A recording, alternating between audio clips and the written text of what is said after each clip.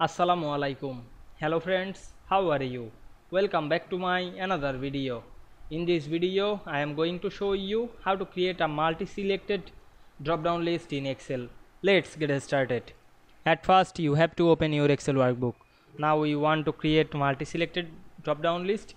Select your cell, then go to the data option, select the data validation drop-down menu, choose data validation. Go to the setting option, click the allow drop-down menu, choose list then click the source option and select your source. Now I am select my source then press enter. Then click OK. Then select the cell and click the drop down menu.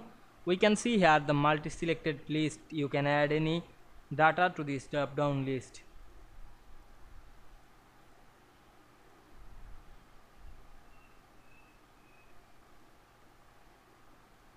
Now we can see we create multi-selected drop-down list in Excel easily. I hope you enjoyed my video.